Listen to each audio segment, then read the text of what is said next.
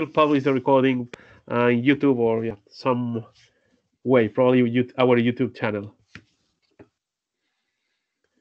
Julio, okay, so welcome everyone once again to a new Uyuni Community Hours edition. This time is the SUSE Hack Week edition, and we will explain later briefly what the Hack Week is for those of you that don't know. This is the agenda for today. So we have four topics. Let's get started with the first one, which is about getting some help for testing ARM. Because not sure if you already know, but we already have client packages for OpenSUSE Leap 15.2, which are available at master.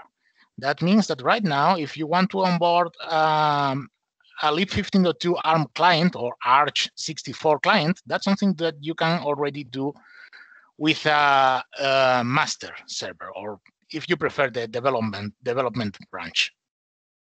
And um, yeah, we started to work uh, as well on getting the server and proxy installable on ARM as well, for now, only for Leap 15.2.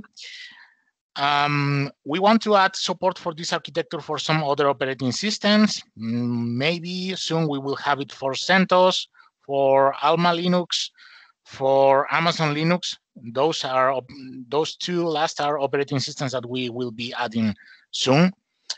And uh, we would really appreciate if the community can help us testing those new this new architecture because well we don't have the bandwidth to handle everything and in some cases we don't have the the required hardware and uh, we could use we could use a lot of help here so if you give it a try i will publish some instructions on the website uh, next week uh, to to help you getting started it's pretty much the same you would do with the 62-bit um, architecture the intel 60, 60 so, sorry 64-bit uh, architecture but uh, yeah you just need to replace uh, a couple of things to get things working. So, well, that's the message from my part. If you have a Raspberry Pi or whatever other hardware with this architecture, help us. Let us know how things are working. If something is broken, ping us, create a bug report, and we will have a look. Any questions about this or comments or yeah, so just one thing for, for the proxy, uh, a Raspberry Pi should be fine for the server, uh, maybe unless you get one of those uh, models with eight gigabytes of RAM, it might be insufficient. Just so other ARM hardware might be more fit for the server. Ah, yeah, that's that's true. Yeah, for the for the Raspberry Pi, proxy will work on any Raspberry Pi that supports OpenSUSE. I think that's at least Raspberry Pi 3 and 4. Not sure about 2. Same for the clients and for the server. Yeah, 8 gigabytes is the bare minimum even for development environments. Okay, then the next thing is the Hack Week project from Pau and from me, yeah, which was maybe we, should by explaining what is Hack Week. Right, Right, right. Let me, that's the next slide. That we were working on this whole week. So for those of you that don't know what a Hack Week is, is an event that we have at SUSE one time each year where all the SUSE engineers come basically co collaborate or enhance any project they want or research some new things, start a new project. It all depends on what, what you want to do and what are your interests in this case, um, the last year and also this year, I was working on adding more operating systems as a Uyuni clients with some people. Last year, we were able to add Oracle and Debian 9 and 10. And for this year, we have some more surprises. So the first one is Amazon Linux 2. Mm, if you are Amazon Web Services user, maybe you already know that this is Mm, I think it's the most used operating system in the Amazon cloud. It's basically a CentOS 7 with several changes, but in general is mostly compatible.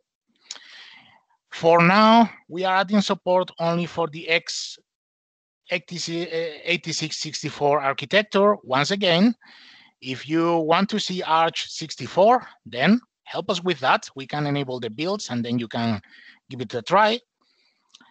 And the things I tested are, of course, the onboarding of Salt and Salt. By the way, I have a typo here, so should say Salt and Salt SSH minions. Formulas are tested as well, states, remote commands, package management, the CVE audit as well, which seems to work out of the box, as we will see on a screenshot on the next slides. And basically everything else that is working for CentOS 7 should work fine with one minor exception, which is about the back package providers. I don't know if uh, you already use this, this thing, but it tells you what provider is giving you a package and it also, it also allows you to check that uh, a given package comes from the expected provider by checking the GPG key. This is something we are going to add in the next week, uh, in the next weeks, but for now this is still not available. And we are enabling support for SALT, but not for traditional clients. Also, acting as virtualization host is not supported because right now Amazon Linux is not installed on bare metal. There is something I still need to research because I know that there are some bare metal instances, EC2 instances at Amazon Web Services, but to be honest, I never tried them before. And you can expect this in master during the next week, and then on the stable version of Uyuni for the next one, which should be 2021-04.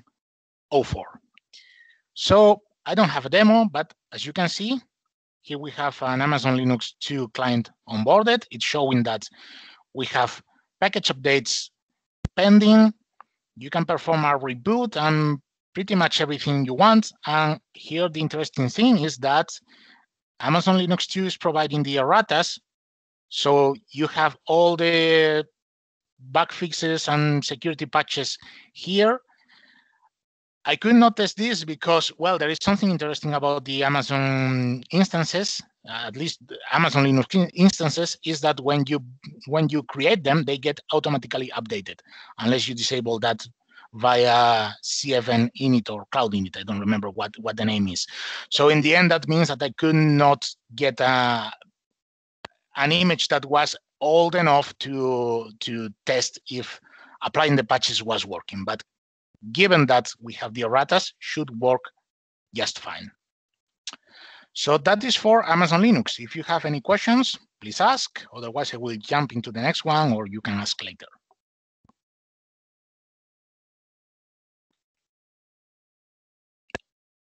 Okay, then the next one is Alma Linux 8. You should. Sorry, I was on mute. Short oh, question. Yeah. Which flavor do they use as Amazon Linux? You mean what do you mean with flavor? What what version? Is it Debian or is it uh, ah the family? CentOS? Now I understand. Yeah, it's based on CentOS seven. On CentOS. Okay. Yeah. Okay. That was it from my side.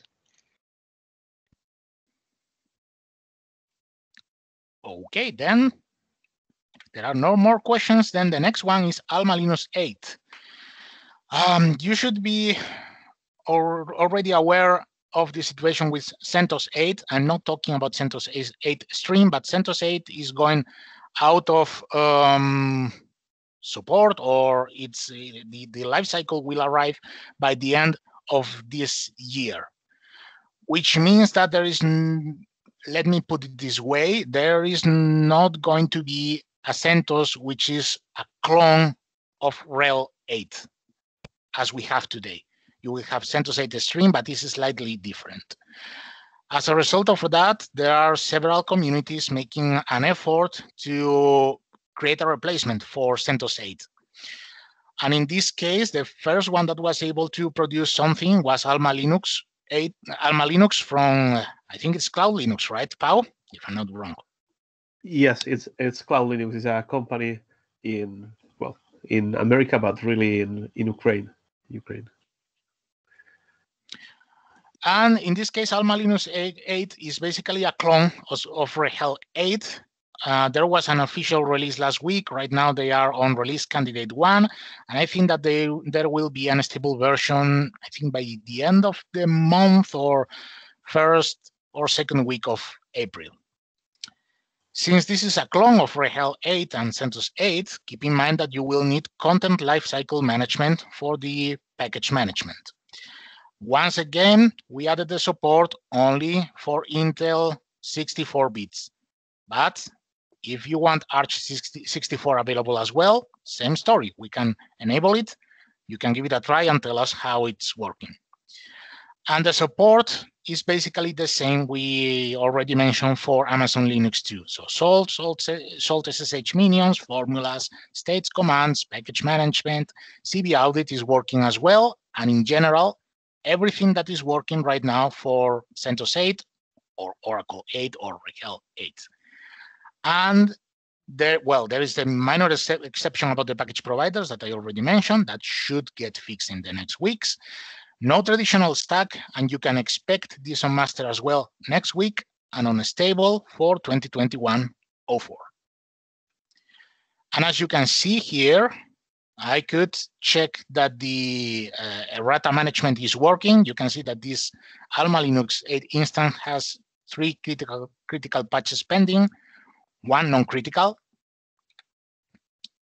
And you can see that we have here all the errata synced here, as far as I could see, you don't really need to do anything uh, anything similar to what you do for CentOS. You don't need any third-party application to get information about the ratas and vulnerabilities. It just works out of the box, which is something really, really nice.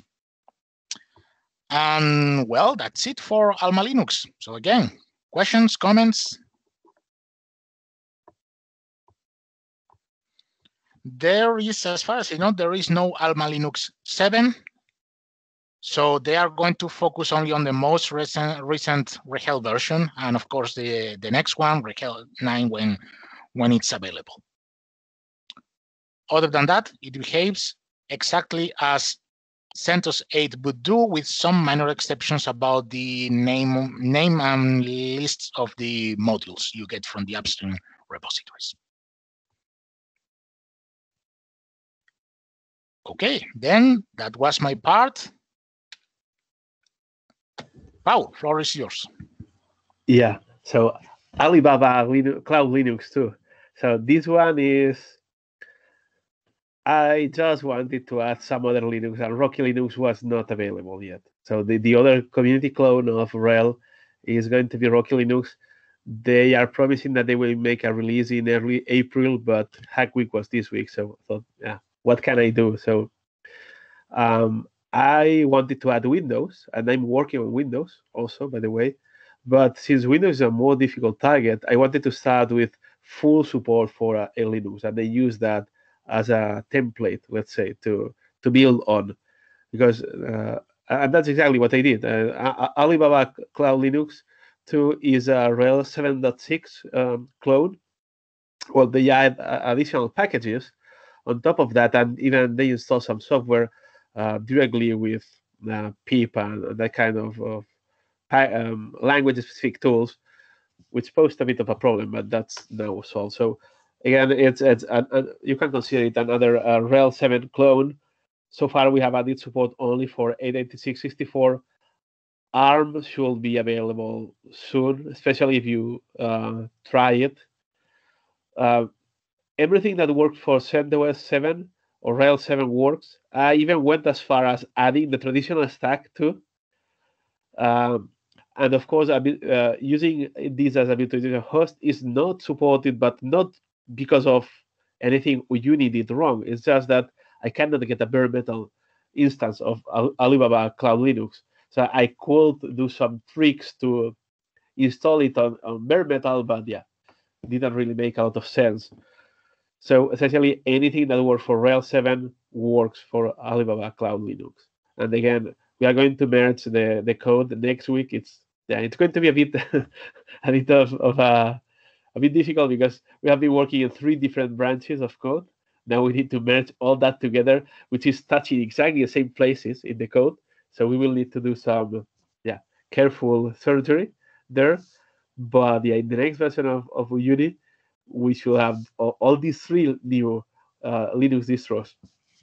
And with that, I think that we can go for the next slide where we can show that, yeah, so Uyuni supports now, uh, oh, the, the, these are the screenshots. Yeah, so you can see that I, am running, but there's nothing really to see because it just behaves, you, you don't really mind, yeah. So you can see here the errata, that's the only thing that will tell you that this is uh, another system. Uh, because other than that, this is what uh, that that's uh, the strong point of, of Uyuni. You don't really care if it's Alma Linux, uh, Alibaba Cloud Linux, uh, RHEL, or whatever it is. It's just a system that's managed. So you just say add it to the system set manager, install the updates, create the content lifecycle project, uh, filter and install only the software they want, avoid reboots, that kind of information. And all of this information is available. So for all the operating systems that we support. So there's no, no real difference. Uh, but as as with Alma Linux and with Amazon, Alibaba is providing errata information and reboot information and all of that, which is really nice. Right, and the good thing about that in both Amazon Linux and, and Alibaba Linux is that well, we are making Uyuni, let's say, cloud native, because now you can manage some operating systems that are are only available on the on the Alibaba or Amazon uh, clouds. Well, strictly said for Amazon Linux, that's not true. If you want to test uh, Amazon Linux even with an Amazon account, you can still create virtual machines on, I think it's Hyper-V, VirtualBox, and VMware. You can download images and run them. So no problem about that. Oh yeah, Donald just pasted the, the link. Um, well, not related to Uyuni, but you well, not directly, but you can even create Docker containers. There is a Docker image for Amazon Linux as well, or some yeah. quick tests. Yeah, also for Alibaba Cloud Linux too, is also uh, Alibaba is providing uh, images that you can download and install locally, and you can even get the updates offline. I mean, offline uh, out of the uh, Alibaba Cloud. So you can install it in your data center or whatever and use it. The interestingly, also by the way, I, I discovered like uh, two hours ago that Alibaba Cloud Linux 3 is not announced. it's not even in the in the Alibaba Cloud, but packages are already available. So I will be looking into that very soon, as soon as as I can install it anywhere because there are packages, but they offer no images and it's not available as instances on their cloud. So I cannot really start it unless I do some tricks with I don't know, starting with a base CentOS 8 old CentOS 8 or RHEL 8 image and then try to upgrade that to Alibaba 3. I don't know. Yeah, but these new operating systems, cloud operating systems, we will support them too as soon as they are available.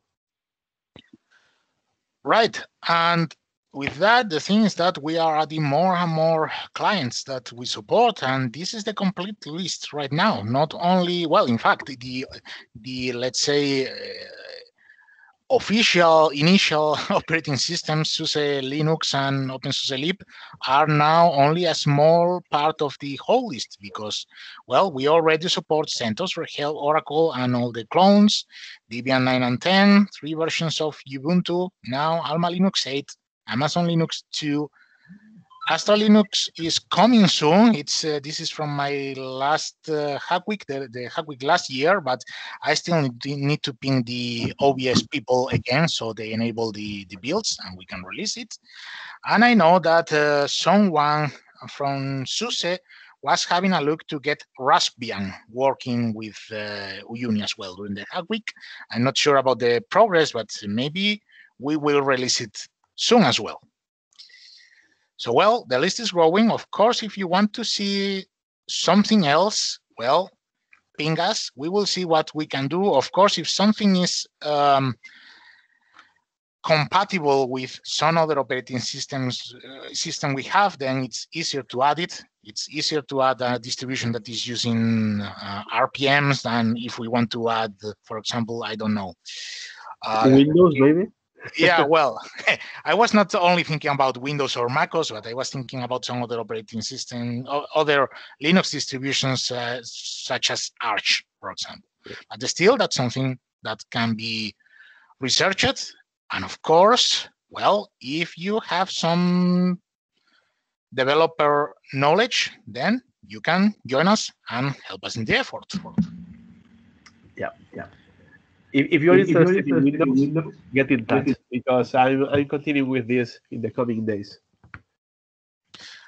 Right. And if you want to consider some other, I don't know, uh, Debian clones or RHEL clones, I will send an email to the Devel mailing list with the pull request that we are going to merge so you can know what needs to be done in such situations and maybe you can experiment a, a little. Yeah. Okay. So if, if there are no more questions about the clients, then I think we can move to Cedric's and Dan's presentation about this salt language server protocol. And we should also have Silvio, so here talking about the containers, Uyuni containers. I don't see Silvio yet, so let's start with Cedric and Dan. Yeah.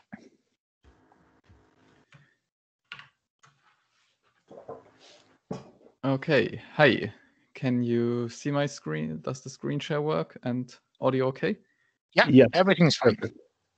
Okay, perfect. Hi, everyone. Um, thanks for having us. So my name is Dan, and uh, Cedric is going to present the second half. We have uh, worked on a simple, uh, on a um, yeah, on a prototype of a language server protocol implementation for salt states. So for those of you who are now thinking, what on earth is the language server protocol?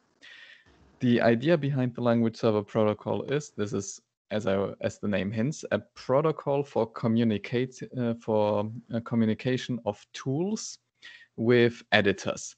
So if you take a look at your average at the average uh, n times n problem, you have n languages, m editors, and if you want uh, your language to be supported in all the editors, you have to write 50 different integrations. And the language server protocol provides a, uh, a JSON RPC protocol for uh, which an editor could talk to, the, uh, to a server and ask it for code completion, for diagnostics, for documentation, for jumping to definitions, and so on and so on, and all uh, all kinds of stuff. And the nice thing about this is you just implement your server once and you get a whole ton of features in various different, uh, for all kinds of editors. So for VI, VS Code, etc., etc. So, and since there's nothing like this for salt states, we uh, try to tackle this and uh, for and uh, so we spent the, uh, the, past five days on that. And uh, we'd like to show you what we've managed to pull off so far. So what currently works relatively reliably is the following. So you can you can autocomplete salt state names. As you can see uh, once I type the dot in, the extension presents me all the correct subnames of the uh, of the Git state and it shows me here the documentation. So the document, uh, so all of this is pulled from Salt Doc, And this also works with other ones, for instance, PKG.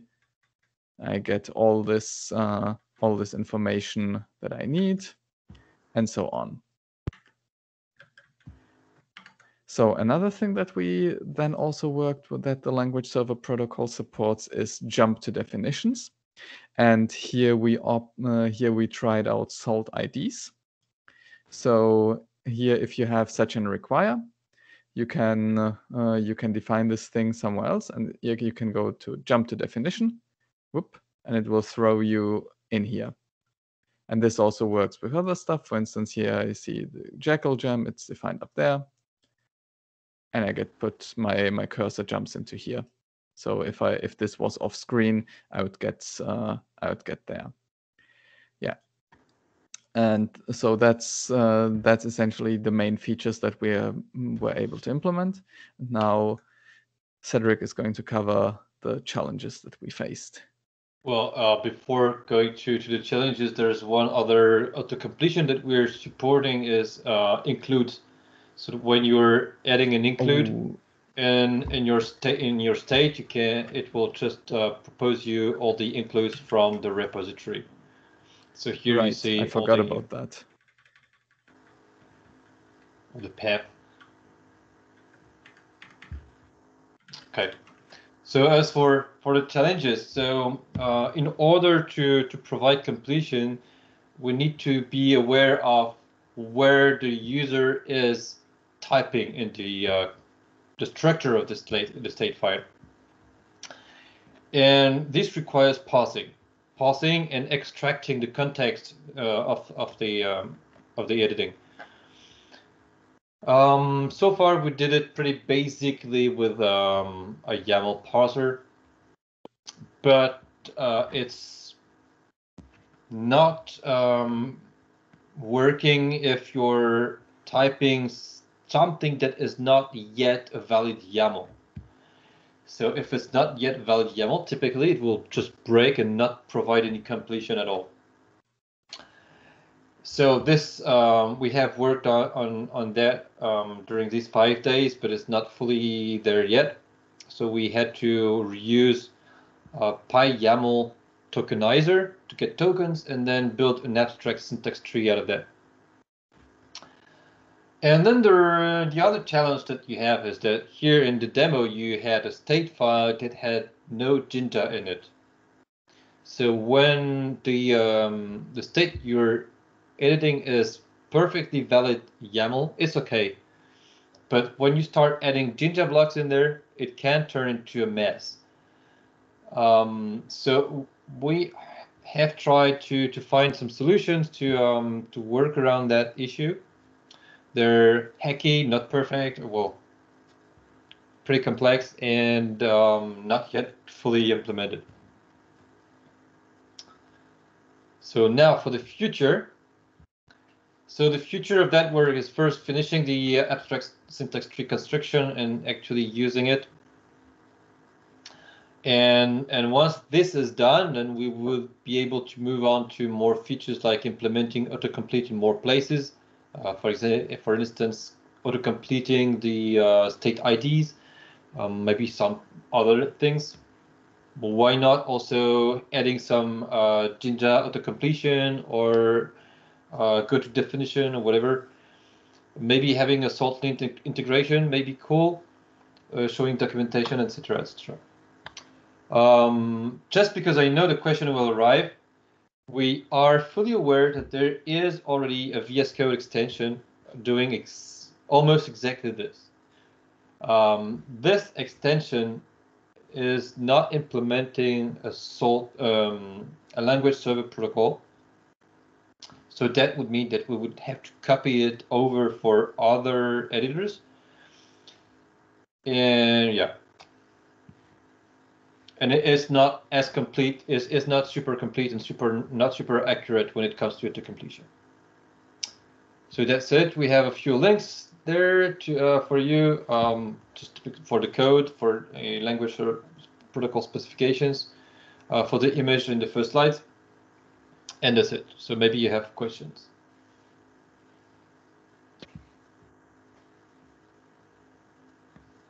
Um, is this what's the target group for this one?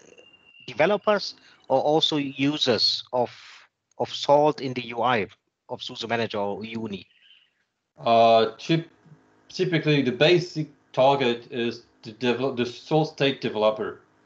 So that uh, when you cr create the source states to uh, configure your state machines, you can have something uh, convenient. But I think there are some web editors, and it could not be such a such a dream to imagine um, a web editor integrated somehow into a Uyuni and having such uh, completion features for writing states. Why not? Yep. Yeah, especially since uh, there's there's about a dozen uh, VS Code spin-offs that uh, that run just in the web. So GitHub code spaces are one, but there's uh, there's also there's also some that are not uh, not tied to GitHub uh, whatsoever. so you can you could integrate this if you have a if you have a web server running you can just plop that in there and pre-install extensions and since this is based on vs code it supports the language server protocol so that would work there uh, just fine okay yeah this is super cool so my question is have you thought of integrating with the Uyuni uh, API so that you can autocomplete, for instance, the software channels, the configuration channels, stuff like that? Uh, no, not yet. so far, we're just uh, trying to stick to what Salt is defining, and it's already quite a lot. I think by the end of the week, we start. We, we managed to to hate Jinja and YAML at the same time. Especially the combination throwing both into the mix make it really challenging. okay, guys, this is super cool. Any more questions? If not, I think we have Silvio here that yeah he he can talk about the containerization, right, Silvio? Yeah, correct. So thank you, Cedric. Thank you, Dan. Great project. Let me try to see if I can share my screen. Hopefully you can see my slide deck. Works. Visible? Okay, cool. So uh, during Hack Week, we tried to put Uyuni in containers. Oh, as you know, Uyuni uh, uh, was uh, was born long ago uh, from a source code perspective, and it, it's kind of uh, you know historical in his, in its heritage that it's it's a little bit like a monolith or a, a number, a small number of monoliths in terms of architecture. This was way, way before containers were born. Any, any, any such technology was, was prevalent. So um, we set out this hack week with a very ambitious, over-ambitious goal, actually, um, to actually be able to deploy Uyuni uh, inside of the of the Rancher marketplace. So, um, uh, assuming you have some Kubernetes clusters and and you are managing them with Rancher, uh, then uh, you are able to deploy applications like uh, like those that, that are being shown on screen now. And, and the idea was, okay, what if we could put Uyuni in there and just install it as easily as, as, as one click and then Uyuni is now running on your cluster. Now, of course, this is, there's, there's a long way uh, before, before we can actually do something like that. But the first and most important step is, is to containerize Uyuni components. And, and we had a lot to learn uh, about containerization in general and, and, and Kubernetes and all the related technologies. So we, we took Hack Week as, as the occasion to, to learn and experiment and see how, how far we could get. Uh, so the, the first thing, um, I'm going to talk to, uh, to you about three things uh, today. The first is uh, what did we build? What did we achieve? because of course Hack Week is, is, is mainly about uh, tinkering and try to try to try to build something, no matter if it does make complete sense or not. Uh, so the first thing uh, that, that, that we did was to try to containerize the Uyuni proxy. Now, why the proxy, and not the server? Uh, because it's a lot easier. So um, uh, uh, that that was our our first yeah context with with the whole container world not exactly the first, but the first in, in this kind of endeavor. So we started from, from the, easy one and then try to get some lessons to, to then apply to, to the bigger beast. So that's why we started from the proxy. And um, the, the, initial approach was the so-called fat container approach, where you have one container and everything in it, which resembles uh, a lot what, what's, uh, what's in the proxy VM as, as of today because once again, that's the easiest approach, and then you can break it down. Um, calling it fat, yeah, it's, it's, it's something you can do. Um, the other thing that we did was um, to uh, attach it to a volume so that uh, if, for whatever reason, uh, your uh, Uyuni proxy container goes away, it's, it's burned, it's destroyed, you can replace it with a fresh one, which is exactly identical, connected to the same volume, and, and all the long-term um, uh, uh, data stored will remain there, and basically you, you, you not notice the, the difference at all. Uh, so the, the volume will contain, for example, all, all, all cached packages and everything that that is permanent, like SSL certificates and everything else. So um, this worked. Uh, the other thing we did was to try to slim it down once once it was working. Um, so um, calling it a fat container is, yeah, uh, debatable in the sense that the proxy doesn't contain a lot of software. Uh, mainly, we're talking about an Apache web server, a Squid web cache, and, and, and a small com uh, component called a salt broker uh, to, to, to basically proxy the salt connections. Uh, but we did manage to split those into three uh, separate containers and, and have that, them all, all running on top of um, Docker and Podman in, in, in this case. So um, yeah, from, from this perspective, uh, it, it, worked quite well. Um, the other thing we tried, and this is still a work in progress because Hack Week is not finished yet, so we hope to be uh, able to actually conclude uh, this uh, by the end of Hack Week, is uh, to run it all also on K3S. It's not like there is a fixed plan. Are we going to use Podman or K3S? It's more about learning uh, about the different options and see the pros and cons of what we can do with technology. So that's why uh, K3S, yeah, it's it's it's here on this slide, but it's still work in progress at this point. And then the, the interesting part was was the Uyuni server, of course. Um, and, and, and this is, is really a fat container. So at the moment, there's, there's really a lot of software in it. So um, yeah, uh, we, we're still in the initial phase where we have everything in one place. Um, again, this, this was, was tested with, with Podman.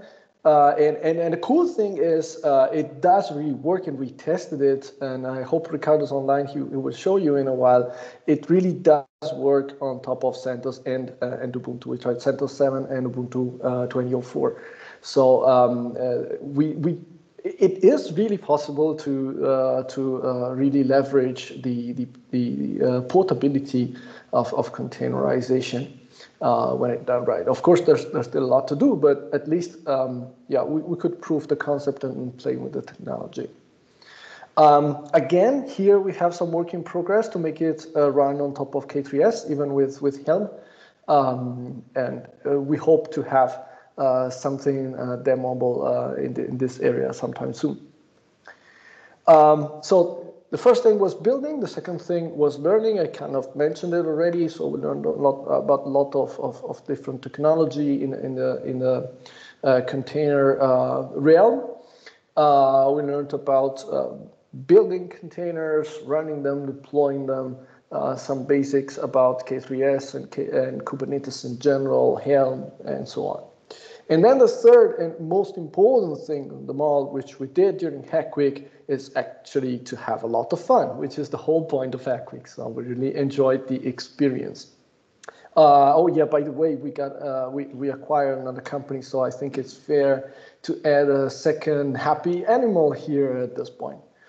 Um, in case you want to learn more about uh, this uh, this this Hack Week project, and especially uh, what, what, what are the next steps, what, uh, what we might end up doing as, as, as a result of what we've learned.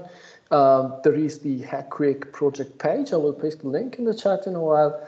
Um, there are more, many more um, technical details uh, in, in this page and also a link to a, to a wiki page, which was kind of a, a scratch pad uh, during the project and, and, and also contains um, some some information about what what what's needed next before we can at some point um, uh, have have this uh, really as an option in in Uyuni first, and then maybe one day uh, also uh, in SUSE Manager. And that's it for my presentation. Are there any questions? We have one from Jordi at the chat about Jabberd. Yeah, so um, you have to know Hack Week is, is, is for having fun, which means uh, you are basically allowed to cut a lot of corners that you wouldn't be able otherwise. One of those corners that we deliberately chose to cut uh, was uh, any, anything about the traditional stack. Now, this is no decision. This is just a Hack Week um, compromise at this point. So we just forgot about the traditional world for a while and, and, and, and tried it out that way. Of course, uh, at the moment this works, we will have to think a little bit again whether it's worth it to, to complicate the picture and, and, and, and really support the traditional stack or just say, hey, if, if you want the latest and greatest Uyuni on top of containers, uh, that uh, you will just have to use Salt and, in the Minion system. Sure. I just I just um, didn't know if you just uh, do it on purpose to make it simpler or, or, or there was any problem with uh, the Java Um, Then I have one question, if I can. Um, so the the um, one thing that I was thinking while you were speaking. So if we put everything in containers, uh, how do we manage the subscriptions? Because if I remember correctly, if you have a container system manager, it should get the subscriptions from the host. So then you cannot run the server on CentOS because you don't have a subscription. Have you, I don't know, have you found this this issue or? or... Well, um, the the thing is that uh, SUSE Manager already and and and Uyuni uh, of course, uh, doesn't place any limitation um, over over over what to do with the software, even if you if you run out of subscriptions. So what what SUSE Manager does is allow you to know whether you are using an appropriate number of subscriptions or uh, or, or, you're overusing them or, or you need to, to buy some more. So there is a reporting functionality. But other than that, it's not like um, uh, the moment we find out that, uh, oops, you're running one server without a subscription, we block that server or we block any functionality at all. We never want to stop our our customers production systems for for for no reason they can always give us a call and and and, and the sales representative will, will fix it up so at the moment uh, uh, given that the, the possibility of running a server in, in Uyuni on top of CentOS or, or, or Ubuntu doesn't even exist, uh, we don't really have a problem in terms of specifying subscriptions in SUSE Manager either. The moment this will be possible in the in the open source project, it would be the right moment to go to our pro project product managers and tell them, hey, here, what if we enable this for the release product as well? What would be the consequences on the subscription side of things, on the business side of things? Will it cost more? Will it cost less? Will it require different activation scheme or whatever? And then we will have that that conversation if, if, if that day comes when it comes. But at the moment, I wouldn't be worried at all. So for, for Uyuni, this is, not, this is not a concern. Uyuni is free on open source, and it's it's not a technical problem. The subscriptions. Okay. Uh, and how was the experience, Silvio? You said you had big containers. How big was the footprint? Uh, what was surprisingly maybe maybe was it faster than on a installation on VM? I mean, how was the experience? Um, can I respond with a quick demo? Um, sure. Uh, because I, because I think I, I think that that, awesome. that will work fine. So um, let me share my screen again. So here you have a few terminals, and here you have an, a new Uyuni system. This Uyuni system has a few machines um, registered. That's that's irrelevant. What we want to do is to add a new containerized proxy and uh, to link up a minion. Hopefully this this all works. I, I promise it did work 10 minutes ago. um, so uh, the, the, the, the way you do it is um, you go to your server. So here is, is the server console. And, um, and then you run this, this new command here, create proxy config. You give it a name, this is the name of the proxy, and you give it uh, your username and password in clear. As you can see, I'm, I don't have uh, a lot of creativity for passwords.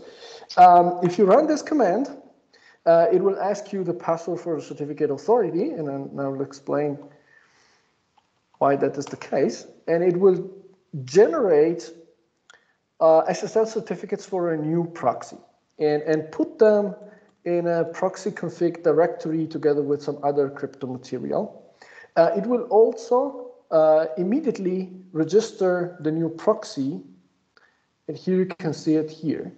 It's not a real proxy at, the, at this point in time. It's just an, an entry in, in, in, the system view. It does, it does nothing attached, you know. But the, the entry was already created. At this point, um, what you can do is to copy over um, this, this special directory uh, into another host. Don't mind I need the root password here. It's, it's, it's unimportant. Once you have that directory on um, on a, a, host that has Docker or Podman, uh, you can run a special script, which is called run proxy. And what it does uh, is uh, it, uh, it will start uh, the container with a proxy, configure it, by the way, with salt, of course, and start it. And this is done. The proxy is actually ready at this point. So it's blindingly fast. Um, at this point, uh, what I'm going to do is uh, I will start uh, the minion process on the minion VM that I have here. Once it is started, it does uh, what you expect. So the key will appear on the server. It's unaccepted because I don't run with auto automatic key acceptance. I will accept the key. And now the minion is accepted. So um, that means I can uh, immediately ping it.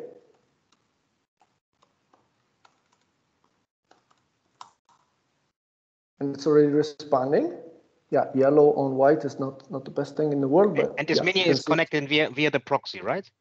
And this minion is connected via the proxy. And, uh, and the minion is actually already here. And if you look at the proxy, you see it's connected through the proxy.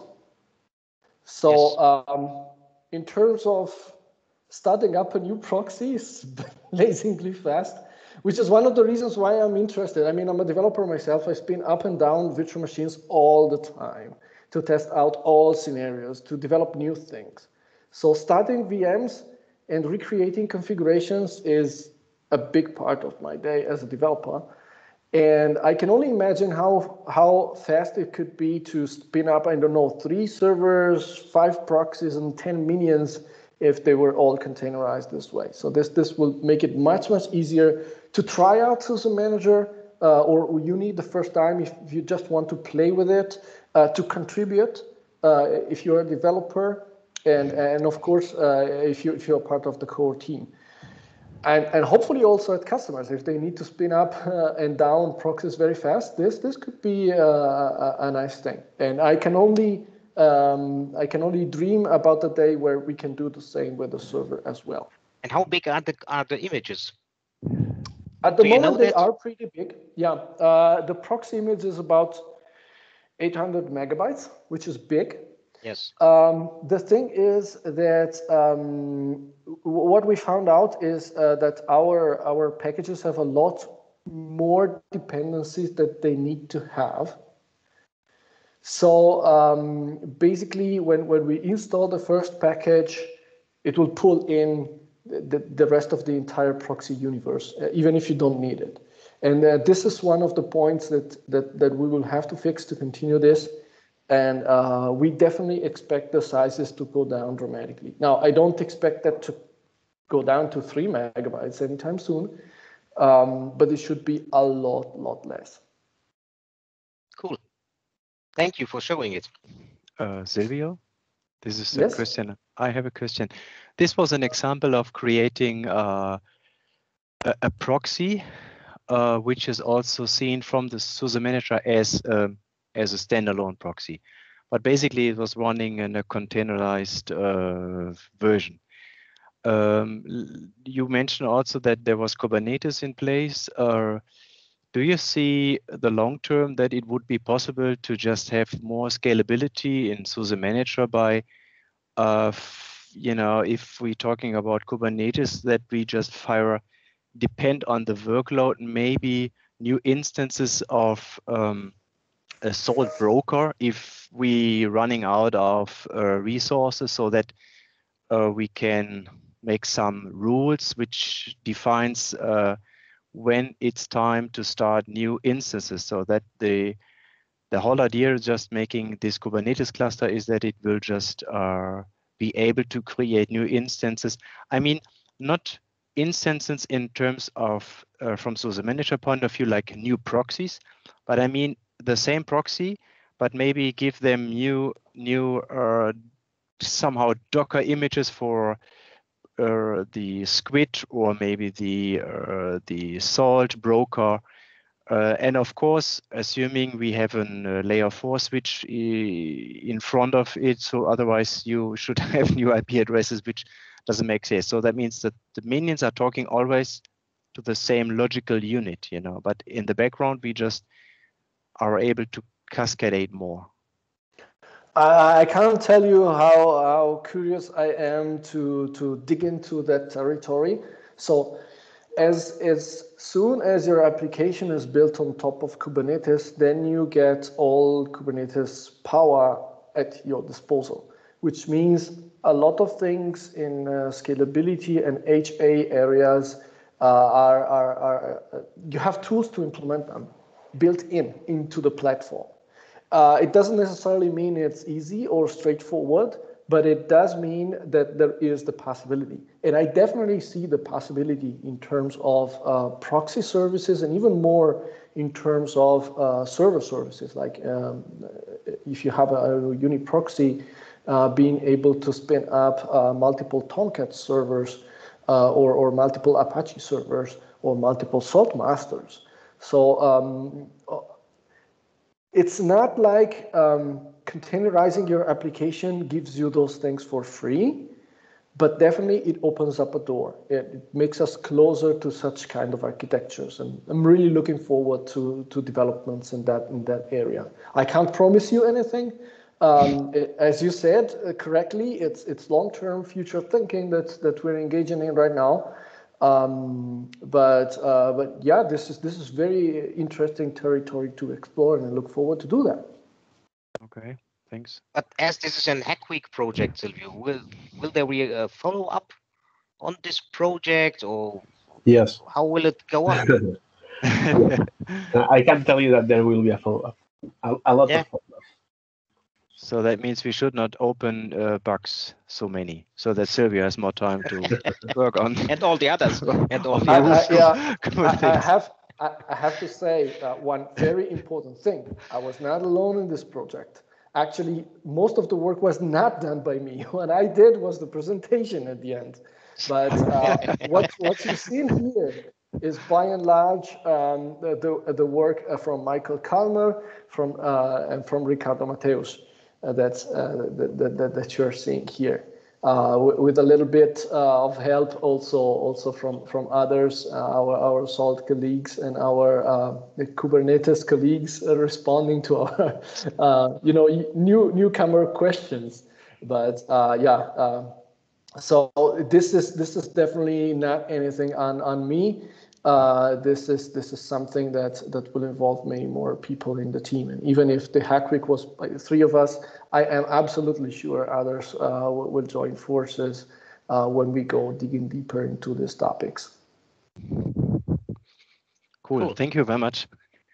Thank you.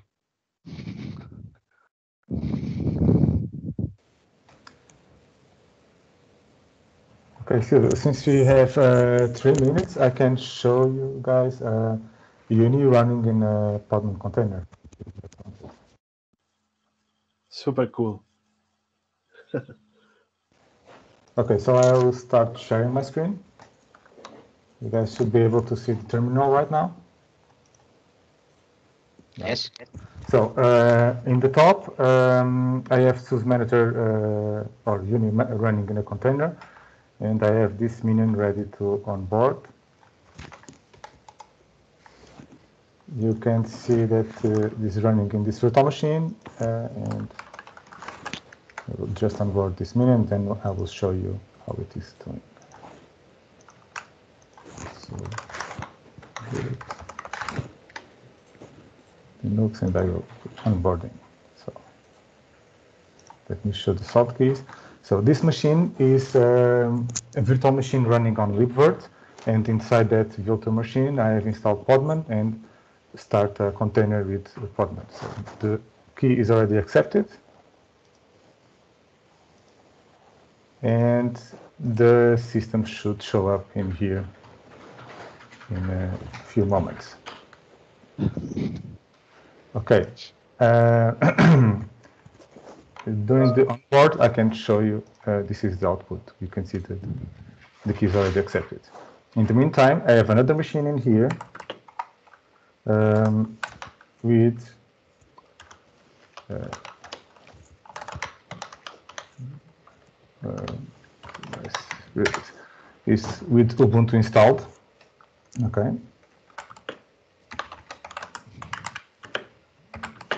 I don't have any container and I will start uh, the Uyuni container in here. Okay. This will run the bootstrap script and uh, initialize all the database. Okay. And in the meantime, you can see that the system, not that machine is very slow because I have too much stuff running.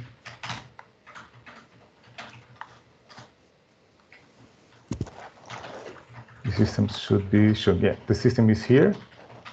Let me increase the font. And you can see that uh, event history, the hardware refresh list is there. I state everything. Okay. Back to the Ubuntu one.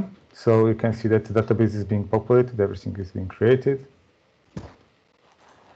This is using a pre-built um, image where the, the Uyuni is already installed and the database also already installed. Okay, now it's importing for the certificate.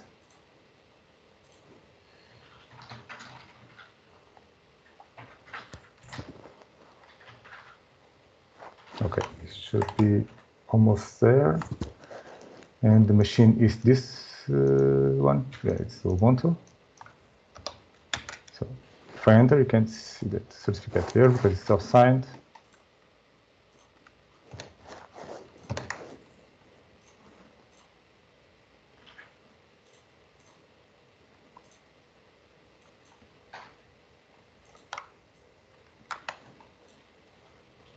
The first time that says is a little bit slower. You should press that turbo button on the bottom of your laptop. Okay, so uh, the first organization screen, I can uh, all, all the fields, and voila. Uyuni running inside uh, Ubuntu image with a container that runs um, on OpenSUSE. And the container image is running OpenSUSE Leap 15.2. And that's what I have to, to show you. Cool.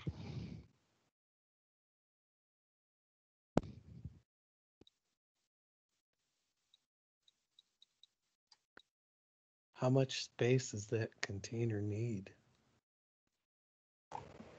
Well, the server right after installation, uh, when I'm exporting with Podman, it's like 1.3 gigabytes.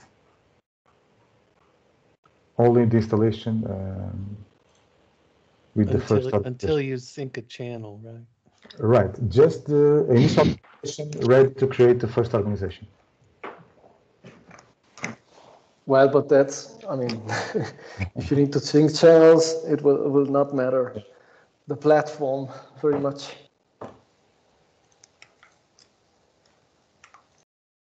Just the bulk of it will start to get larger. So my question is to, um, and you mentioned this already about the potential of decoupling the monolith so that elements like the database or the saltmaster are uh, decoupled to be on separate separately managed either VMs or container instances. So uh, is that something that's on people's radar or how is that planned in future? It's it's on the radar. So especially the carving out the database uh, is is the first thing to attempt. It's probably not the easiest part. Um, it could even be the easiest part to carve out actually. So, um, I, I guess that that would be a natural first step. Whether we do that immediately when we do that is still up to discussion, but uh, that will definitely be the first step. Presenting, I finished one presentation. Yeah, um, completely just what Silvio is, is saying. Uh, database it's been solved uh, would be the, the first logical things to, to decouple. And uh, other things like uh, Taskomatic will be probably a little bit more difficult because uh, they share a lot of code base with the web application. So that will be uh, a little bit more difficult.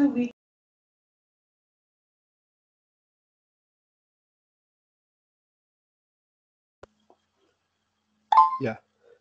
And anyway, guys, we, we are running out of time. We are already four minutes past the hour. Well, one thing before we leave, because I didn't mention this when I asked for collaboration testing ARM.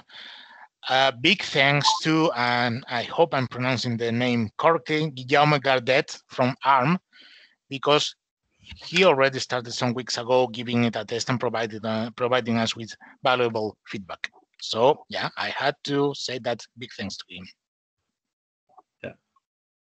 Thank you very much, and we can continue discussion in the Gitter chat and in the mailing list. And yeah, we'll meet again in one month, in four weeks. Thank you everybody for joining, and thank you to the presenters. Yeah, thanks thank everybody. You. Great job. Thank you. Thank you. Enjoy the Thanks. weekend. Thanks bye for bye. having us. Bye. bye.